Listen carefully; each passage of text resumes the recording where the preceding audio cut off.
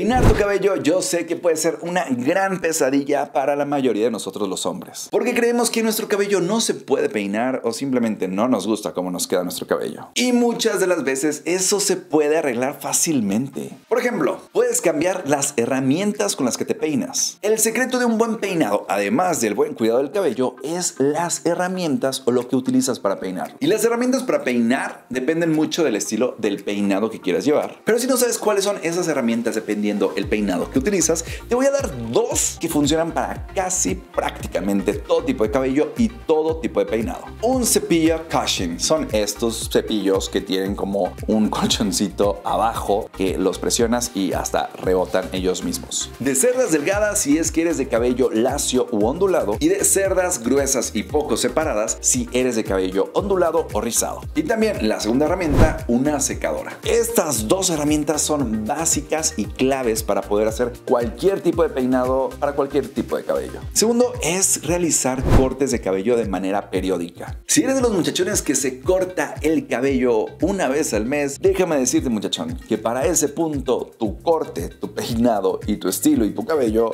ya se ven feos. Y estarán perdidos porque prácticamente a la tercera semana tu corte de cabello ya se perdió y también peinarlo será imposible y más difícil y que se vea bien fatal. Si no haces los recortes de cabello de manera periódica, cada dos semanas a tres máximo, pues los productos que utilices para peinar se van a ir haciendo cada vez más pesados en tu cabello y no podrás peinar tu cabello o incluso los productos que están aplicando en tu cabello serán muy pesados que van a hacer que tu peinado no te dure el suficiente tiempo. Por eso es que yo les digo que deben de hacer sus recortes de cabello por lo menos cada dos semanas o máximo, máximo cada tres. De esta manera nuestro cabello siempre se encontrará en su mejor estado, logrando un mejor peinado que nos hará ver bien y nos durará por más tiempo.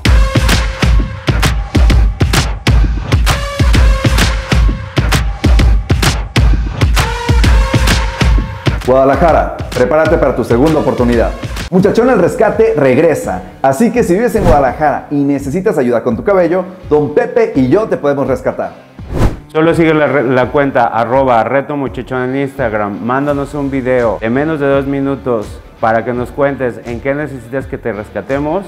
Mándanos una fotografía de frente, perfil, atrás y por arriba de tu cabeza y listo. Tienes hasta el 30 de junio para enviar tus fotografías y tu video a la cuenta de Instagram de arroba reto muchachón. Y no importa si vives fuera de Guadalajara o México, también te podremos rescatar. Así que tú también envíanos los mismos requisitos, un video no mayor a dos minutos donde nos cuentes por qué necesitas ser rescatado y tus fotografías. En esta segunda temporada de Muchachón al Rescate, todos pueden ser rescatados.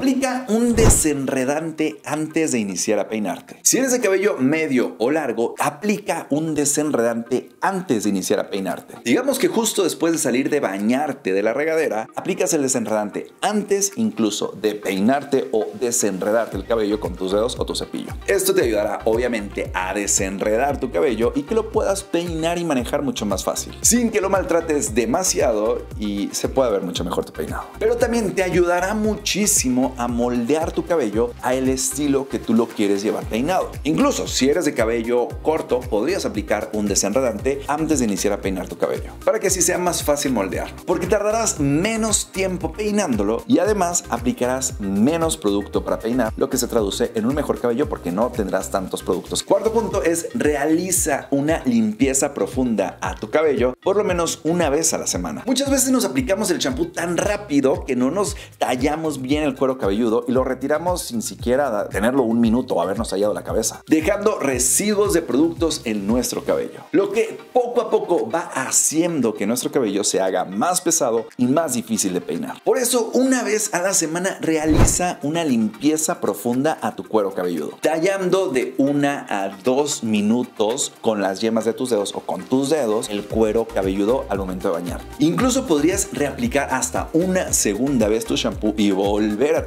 para remover cualquier residuo que haya quedado, aunque ya te hayas aplicado shampoo una primera vez. Esta limpieza la puedes realizar con tu shampoo normal que utilizas a diario o incluso un shampoo de carbón activado también son buenísimos para ayudar a remover y limpiar a profundidad. Y ese día que hiciste la limpieza profunda no apliques ningún producto para peinar en tu cabello para poder dejar respirar tu cuero cabelludo y así poder tener un cabello mucho más sano. Quinto punto es que el producto que utilices para peinar tu cabello debe ser para tu tipo de cabello y más importante, para el tipo de peinado que quieres llevar. Uno de los problemas y errores más comunes al momento de peinarnos es que no utilizamos el producto adecuado para el peinado que queremos llevar o para nuestro tipo de cabello. No todos los productos para peinar funcionan igual para todos los tipos de cabellos y no todos son para todos tipos de peinados. Si quieres que te haga un video hablándote específicamente de los productos para peinar, tipos de cabellos y prácticamente quizás tipos de peinados, dale like a este video para yo saber que te interesa ese video de productos peinados para que te quede mejor. Y pues bueno muchachón, eso es todo por el video del día de hoy. Espero te haya gustado y te haya servido y recuerda que me puedes seguir a mí en Instagram,